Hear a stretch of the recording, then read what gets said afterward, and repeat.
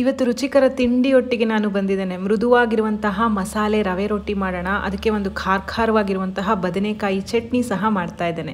Hi friends ಎಲ್ಲರಿಗೂ ನಮಸ್ಕಾರ. Welcome to ಸಂತೃಪ್ತಿ ಕಿಚನ್ ಎಷ್ಟೇ ತಿಂಡಿ ರೆಸಿಪಿಗಳಿದ್ದರೂ ಸಾಕಾಗೋದೇ ಇಲ್ಲ ಅಲ್ವಾ? ಅಕ್ಕಿ ರೊಟ್ಟಿ, ರಾಗಿ ರೊಟ್ಟಿ ಅದೆಲ್ಲ ಮಾಡೇ ಇರ್ತೀರಾ? ರವೆಯನ್ನು ಉಪಯೋಗಿಸಿ ಇವತ್ತು ಮಸಾಲೆ ಎಲ್ಲ ಹಾಕಿ ಮಸಾಲ ರವೆ ರೊಟ್ಟಿ ಮಾಡೋಣ. ತುಂಬ ಮೃದುವಾಗಿರುತ್ತೆ. ಲಂಚ್ ಬಾಕ್ಸಿಗೂ ಸಹ ಹೇಳಿ ಮಾಡಿಸಿದಂತಹ ರೆಸಿಪಿ ಏಕೆಂದರೆ ತಣಿದ ಮೇಲೂ ಸಹ ಇದು ಗಟ್ಟಿಯಾಗೋದಿಲ್ಲ. ತುಂಬಾ ಸಾಫ್ಟಾಗಿ ಇರುತ್ತೆ.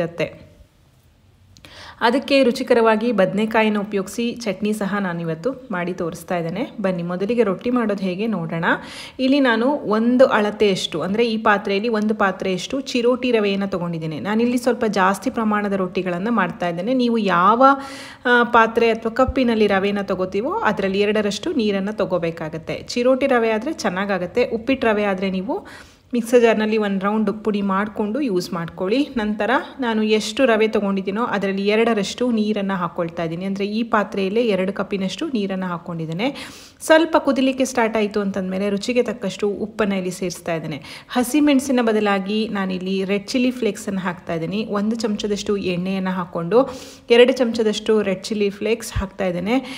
ಇದಿಲ್ಲ ಅಂತಂದರೆ ಬ್ಯಾಡ್ಗಿ ಮೆಣಸನ್ನೇ ಮಿಕ್ಸರ್ ಜಾರ್ನಲ್ಲಿ ನೀವು ಪುಡಿ ಮಾಡಿ ಸಹ ಹಾಕ್ಕೊಳ್ಬೋದು ಸಣ್ಣದಾಗಿ ಹೆಚ್ಚಿರುವಂತಹ ಕರಿಬೇವಿನ ಸೊಪ್ಪನ್ನು ಹಾಕಿ ಚೆನ್ನಾಗಿ ನೀರು ಕುದೀತಾ ಇದೆ ಅಂತನ್ನುವಾಗ ರವೆಯನ್ನು ಸೇರಿಸಿ ಚೆನ್ನಾಗಿ ಮಿಕ್ಸ್ ಮಾಡೋದು. ಈ ಉಪ್ಪಿಟ್ಟೆಲ್ಲ ಮಾಡ್ತೀವಲ್ಲ, ಅದೇ ರೀತಿಯೇ ಅದೇ ಗ, ರವೆ ಆಗಿರೋದ್ರಿಂದ ಬೇಗನೆ ಗಟ್ಟಿಯಾಗಿಬಿಡುತ್ತೆ, ಏನು ತುಂಬ ತಿರುಗಿಸ್ಬೇಕು, ಗಂಟುಗಳಾಗುತ್ತೆ, ಅದೆಲ್ಲ ಏನೂ ಇಲ್ಲ. ನೋಡಿ, ಆಲ್ಮೋಸ್ಟ್ ಗಟ್ಟಿ ಆಗಿಬಿಟ್ಟಿದೆ. ಇದು ಸ್ವಲ್ಪ ತಳ ಬಿಟ್ಕೊಂಡು ಚೆನ್ನಾಗಿ ಬೇಯಬೇಕು. ಆವಾಗ ರೊಟ್ಟಿ ನಮಗೆ ಲಟ್ಟಿಸ್ಲಿಕ್ಕೆ ತುಂಬ ಈಸಿಯಾಗಿ ಬರುತ್ತೆ. ಮತ್ತು ಹರಿದು ಹೋಗಲ್ಲ. ಹಾಗಾಗಿ ರವೆಯಲ್ಲಿ ಚೆನ್ನಾಗಿ ಬೇಯೋದು ಮುಖ್ಯ ಆಗುತ್ತೆ. ನಾನು ಈ ರೀತಿ ಚೆನ್ನಾಗಿ ಒಮ್ಮೆ ಮಿಕ್ಸ್ ಮಾಡಿ, ಸಣ್ಣ ಉರಿ ಮಾಡಿ ಒಂದು ಎರಡು ಮೂರು ನಿಮಿಷ ಹಾಗೆ ಇದನ್ನು ಬೇಯಲಿಕ್ಕೆ ಬಿಡ್ತೇನೆ. ರವೆ ಅರಳ್ಕೊಂಡು ಚೆನ್ನಾಗಿ ಬೇಯಬೇಕು. ಸೊ ನಾನು ಕ್ಲೋಸ್ ಮಾಡಿ ಇದನ್ನು ಒಂದು ಎರಡರಿಂದ ಮೂರು ನಿಮಿಷ ಬೇಯಿಸ್ಕೊಂಡಿದ್ದೇನೆ. ತುಂಬ ಬೇಯಿಸಬೇಡಿ, ಏಕೆಂದರೆ ನೀರಿನ ಅಂಶ ಇರಲ್ವಲ್ಲ, ತಳ ಹಿಡಿದ್ಬಿಡುತ್ತೆ. ಹಾಗಾಗಿ ನೋಡಿ ಚೆನ್ನಾಗಿ ತಳ ಬಿಟ್ಕೊಂಡು ಬರ್ತಾ ಇದೆ. ಈ ರೀತಿ ಬಿಟ್ಕೊಂಡು ಬಂದಮೇಲೆ ನೀವು ಫ್ಲೇಮನ್ನು ಆಫ್ ಮಾಡಿ ತಣ್ಣಗಾಗೋದಕ್ಕೆ ಬಿಡಬೇಕು. ಕೈನಲ್ಲಿ ಮುಟ್ಟೋಷ್ಟು ತಣ್ಣಗಾದ ಮೇಲೆ ಇದನ್ನು ಒಂದು ಸ್ವಲ್ಪ ಸ್ವಲ್ಪ ಹಿಟ್ಟುಗಳನ್ನೇ, ಅಂದರೆ ರವೆ ಮಿಶ್ರಣವನ್ನೇ ಒಂದು ಪ್ಲೇಟಿಗೆ ಟ್ರಾನ್ಸ್ಫರ್ ಮಾಡಿಕೊಂಡು ನೀರು ಕೈ ಅಥವಾ ಎಣ್ಣೆ ಕೈ, ಸ್ವಲ್ಪ ಅಂಟತ್ತೆ ಕೈಗೆ. ಹಾಗಾಗಿ ಮಾ, ಎಣ್ಣೆ ಕೈ ಅಥವಾ ನೀರು ಕೈ ಮಾಡಿಕೊಂಡು ಚೆನ್ನಾಗಿ ಇದನ್ನು ನಾದ್ಕೋಬೇಕು. ಒಳಗಡೆ ಏನು ಗಂಟುಗಳು ಇರೋದಿಲ್ಲ, ಆದರೂ ಇದನ್ನು ಸ್ವಲ್ಪ ಸಾಫ್ಟ್ ಆಗೋ ತನಕ ನಾದ್ಕೋಬೇಕಾಗತ್ತೆ. ಈ ಉಕ್ಕರಿಸಿದಂತಹ ಅಕ್ಕಿ ರೊಟ್ಟಿ ಎಲ್ಲ ಮಾಡ್ತೀವಲ್ಲ, ಅದೇ ರೀತಿ ನಾವಿಲ್ಲಿ ರವೆ ರೊಟ್ಟಿಯನ್ನು ಮಾಡೋದು. ನೋಡಿ, ಚೆನ್ನಾಗಿ ನಾದ್ಕೊಂಡಿದ್ದೇನೆ ಚೂರು ಗಂಟುಗಳಿಲ್ಲ. ನಿಮಗೆ ಎಷ್ಟು ದೊಡ್ಡದು ಬೇಕೋ ಅಷ್ಟು ದೊಡ್ಡ ಉಂಡೆಗಳನ್ನಾಗಿ ನೀವು ಇದನ್ನು ಮಾಡ್ಕೋಬಹುದು. ಇಲ್ಲಿ ನೀವು ಕೆಲವೊಮ್ಮೆ ಏನಾಗುತ್ತೆ, ತುಂಬ ಸಾಫ್ಟ್ ಆಗಿಬಿಡುತ್ತೆ. ಲಟ್ಟಿಸ್ಲಿಕ್ಕೆ ಬರೋದೇ ಇಲ್ಲ ಅಂತ ಅನ್ನುವಾಗ ಸ್ವಲ್ಪ ಗೋಧಿ ಹಿಟ್ಟನ್ನು ನೀವಿಲ್ಲಿ ಮಿಶ್ರಣಕ್ಕೆ ಸೇರಿಸ್ಕೊಳ್ಬೋದು. ಆದರೆ ನಾನಿಲ್ಲಿ ಯಾವುದೇ ಹಿಟ್ಟನ್ನು ಸೇರಿಸಿಲ್ಲ.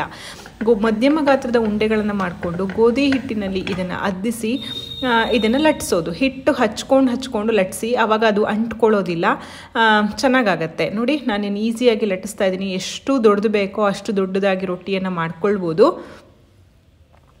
ಪ್ಲೇನ್ ಆಗಿ ರೊಟ್ಟಿ ಮಾಡೋದಕ್ಕಿಂತ ಈ ರೀತಿ ಚಿಲ್ಲಿ ಫ್ಲೆಕ್ಸು ಕರಿಬೇವಿನ ಸೊಪ್ಪು ಇದೆಲ್ಲ ಹಾಕಿ ಮಾಡೋದ್ರಿಂದ ಒಳ್ಳೆ ಪರಿಮಳ ಸಹ ಇರುತ್ತೆ. ಬದಿಯೆಲ್ಲ ದಪ್ಪ ದಪ್ಪ ಮಾಡ್ಕೊಳ್ಳೋದು ಬೇಡ. ಆದಷ್ಟು ಇದನ್ನು ತೆಳುವಾಗಿ ನಾನು ಲಟ್ಟಿಸ್ಕೊಳ್ತಾ ಇದ್ದೇನೆ. ಲಟ್ಸಿರೋಂತಹ ರೊಟ್ಟಿಯನ್ನು ಕಾದಿರುವಂತಹ ಹಂಚಿನ ಮೇಲೆ ಹಾಕಿ ಬೇಯಿಸಬೇಕು. ಇಲ್ಲಿ ಮೊದಲನೇ ರೊಟ್ಟಿ ಮಾಡ್ತಾ ಇರೋದ್ರಿಂದ ಸ್ವಲ್ಪ ಎಣ್ಣೆ ಹಚ್ಕೊಳ್ತಾ ಇದ್ದೀನಿ. ಎಣ್ಣೆಯನ್ನು ಹಾಕಬೇಕು. ತುಂಬ ಎಣ್ಣೆ ಬೇಕು. ಅದೆಲ್ಲ ಏನೂ ಇಲ್ಲ ಈ ರೊಟ್ಟಿಗೆ. ಹಾಗೆ ಸಹ ನೀವು ಮಾಡ್ಕೊಳ್ಬೋದು.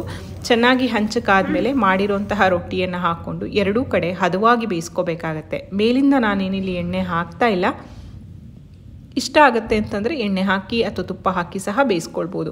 ತುಂಬ ಚೆನ್ನಾಗಿ ಉಬ್ಬಿ ಉಬ್ಬಿ ಸಹ ಬರುತ್ತೆ, ತುಂಬ ಸಾಫ್ಟಾಗಿ ಸಹ ಇರುತ್ತೆ. ನೋಡಿ, ಹದವಾಗಿ ರೊಟ್ಟಿ ಬೆಂದಿದೆ.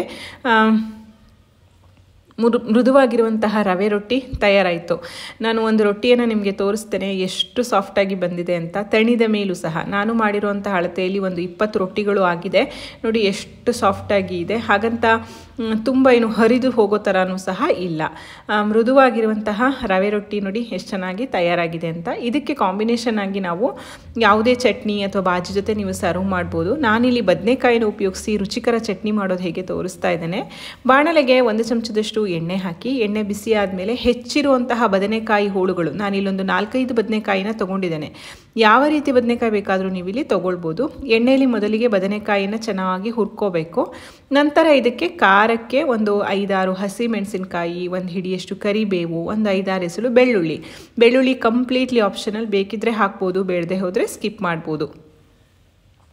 ಚೆನ್ನಾಗಿ ಹುರ್ಕೋಬೇಕಾಗತ್ತೆ. ಒಂದು ಅರ್ಧ ಚಮಚದಷ್ಟು ಅರಿಶಿಣ, ಒಂದು ಚಮಚದಷ್ಟು ಜೀರಿಗೆನ ಇಲ್ಲಿ ಸೇರಿಸ್ತಾ ಇದ್ದೇನೆ. ಚೆನ್ನಾಗಿ ಹುರಿದು ಮಾಡೋದ್ರಿಂದ ಇದು ಒಂದು ಎರಡು ದಿನ ಸಹ ಹಾಳಾಗದೇ ಇರುತ್ತೆ. ಈ ಚಟ್ನಿಗೆ ನಾವು ನೀರನ್ನು ಉಪಯೋಗ ಮಾಡ್ತಾ ಇಲ್ಲ. ಹಾಗಾಗಿ ಇದು ತುಂಬ ಬೇಗ ಏನು ಹಾಳಾಗೋದಿಲ್ಲ. ಈಗ ಇದಕ್ಕೆ ರುಚಿಗೆ ತಕ್ಕಷ್ಟು ಉಪ್ಪನ್ನು ಸೇರಿಸ್ತಾ ಇದ್ದೇನೆ. ಒಂದು ಅರ್ಧ ಹಿಡಿಯಷ್ಟು ಕೊತ್ತಂಬರಿ ಸೊಪ್ಪನ್ನು ಸೇರಿಸ್ಬಿಟ್ಟು ಎಲ್ಲದನ್ನು ಬದನೆಕಾಯಿ ಹೋಳುಗಳು ಮೆದುವಾಗಬೇಕು, ಚೆನ್ನಾಗಿ ಬೇಯಬೇಕು ಬದನೆಕಾಯಿ. ಅವಾಗೆ ಚೆನ್ನಾಗಾಗೋದು. ಅಲ್ಲಿ ತನಕ ಹುರ್ಕೋಬೇಕಾಗುತ್ತೆ. ನೋಡಿ, ಬದನೆಕಾಯಿ ಚೆನ್ನಾಗಿ ಬೆಂದಿದೆ. ಬಣ್ಣ ಸಹ ಚೇಂಜ್ ಆಗಿದೆ. ಈಗ ಹುಳಿಗೆ ಒಂದು ನೆಲ್ಲಿಕಾಯಿ ಗಾತ್ರದಷ್ಟು ಹುಣಸೆ ಹಣ್ಣು, ಮತ್ತು ಒಂದು ಅರ್ಧ ಕಪ್ಪಿನಷ್ಟು ಒಣಕೊಬ್ಬರಿ ತುರಿ ಹಾಕ್ತಾ ಇದ್ದೇನೆ. ಒಣಕೊಬ್ಬರಿ ಇದ್ದರೆ ಹಾಕ್ಕೊಳ್ಳಿ ಇಲ್ಲ ಅಂತಂದರೆ ನೀವು ಹಸಿ ತೆಂಗಿನಕಾಯಿ ಸಹ ಹಾಕ್ಕೊಳ್ಬೋದು ಇದನ್ನು ಹಾಕಿಬಿಟ್ಟು ಚೆನ್ನಾಗಿ ಹುರಿಬೇಕು, ಒಳ್ಳೆ ಪರಿಮಳ ಬರೋ ತನಕ. ನಂತರ ಫ್ಲೇಮನ್ನು ಆಫ್ ಮಾಡಿ, ಪೂರ್ತಿಯಾಗಿ ತಣ್ಣಗಾದ ಮೇಲೆ ಮಿಕ್ಸರ್ ಜಾರ್ಗೆ ಹಾಕ್ಕೊಂಡು ನೀರನ್ನು ಹಾಕದೆ ಇದನ್ನು ರುಬ್ಕೋತೀನಿ. ಬೇಕಿದ್ರೆ ನೀವು ನೀರನ್ನು ಹಾಕಿ ತೆಳುವಾಗಿ ಮಾಡ್ಬೋದು. ತಕ್ಷಣವಾಗಿ ನಾನು ಖಾಲಿ ಮಾಡ್ತೇನೆ ಅಂತಂದರೆ, ಇಲ್ಲ, ಒಂದಿನ ಇಟ್ಕೋತೀನಿ ಅಂತಂದರೆ ನೀರನ್ನು ಹಾಕದೆ ಈ ರೀತಿ ಗಟ್ಟಿಯಾಗಿ ರುಬ್ಕೊಳ್ಳಿ. ಇದಕ್ಕೆ ಮೇಲಿನ ಒಗ್ಗರಣೆ ಏನು ಬೇಕಾಗೋದಿಲ್ಲ. ನಾವು ಎಣ್ಣೆ ಹಾಕಿ ಹುರಿದಿರೋದ್ರಿಂದ ರುಚಿಕರವಾದಂತಹ ಬದನೆಕಾಯಿ ಚಟ್ನಿ, ಮೃದುವಾಗಿರುವಂತಹ ರವೆ ರೊಟ್ಟಿ ಜೊತೆ ಸರ್ವ್ ಮಾಡಿ. ನಾನು ಸಹ ರೊಟ್ಟಿ ಜೊತೆ ಬದನೆಕಾಯಿ ಚಟ್ನಿ ಮಾಡಿದ್ದೆ. ಮಕ್ಕಳಿಗೆಲ್ಲ ಪನ್ನೀರ್ ಇಷ್ಟ ಆಗುತ್ತೆ ನಮ್ಮ ಮನೇಲಿ. ಹಾಗಾಗಿ ಪನ್ನೀರ್ ಗ್ರೇವಿ ಸಹ ಮಾಡಿದ್ದೆ. ಅದರೊಟ್ಟಿಗೆ ನಾನು ಸರ್ವ್ ಮಾಡ್ತಾ ಇದ್ದೀನಿ. ಖಂಡಿತ ಫ್ರೆಂಡ್ಸ್ ಈ ರೆಸಿಪಿ ಎರಡೂ ತುಂಬಾ ಚೆನ್ನಾಗಿದೆ. ನೀವು ಸಹ ಟ್ರೈ ಮಾಡಿ. ಹೇಗಾಯ್ತಂತ ನನಗೆ ಕಾಮೆಂಟ್ ಸೆಕ್ಷನಲ್ಲಿ ತಿಳಿಸೋದನ್ನು ಮಾತ್ರ ಮರಿಬೇಡಿ. ನಿಮಗೆ ವಿಡಿಯೋ ಇಷ್ಟ ಆಗಿದ್ದರೆ ದಯವಿಟ್ಟು ವಿಡಿಯೋವನ್ನು ಲೈಕ್ ಮಾಡಿ, ನಿಮ್ಮ ಫ್ರೆಂಡ್ಸ್ ಆ್ಯಂಡ್ ಫ್ಯಾಮಿಲಿ ಜೊತೆ ಶೇರ್ ಮಾಡಿ. ಮತ್ತೊಂದು ರುಚಿಯಾದ ಅಡುಗೆಯೊಂದಿಗೆ ಮತ್ತೆ ಸಿಗ್ತೇನೆ ಅಲ್ಲಿವರೆಗೂ. ಧನ್ಯವಾದಗಳು. Thank you for watching